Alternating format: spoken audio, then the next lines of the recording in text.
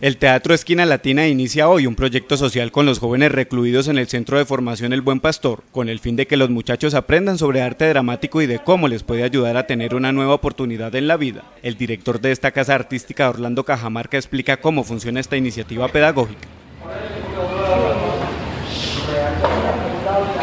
Con esta bandera, mi mamá corta la carne, mi abuelo se corta las uñas. Mi abuela se despunta el cabello. Se trata de llevar una obra teatral sobre masculinidades y la no violencia a la mujer. Es una pieza teatral que hemos realizado que tiene una característica muy particular porque es una pieza interactiva.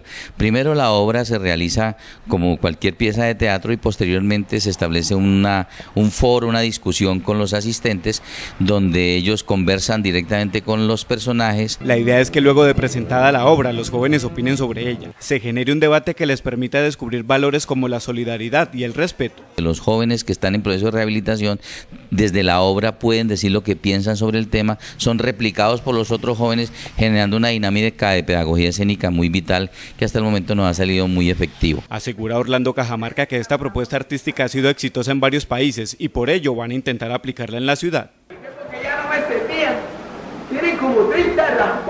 Hacer que la herramienta del teatro como eh, herramienta de rehabilitación, como elemento de diálogo, de, de, fomentar el espíritu gregario, de generar como mm, la energía cultural, cumpla un papel importante en estos chicos y chicas que por, el, por razones de la vida y de su propia condición social en algún momento han tenido desviaciones. Los integrantes de Esquina Latina esperan que el teatro conquiste los centros de reclusión de la ciudad y así los jóvenes que allí se encuentran puedan salir adelante con la ayuda de una de las mejores herramientas de resocialización, el arte.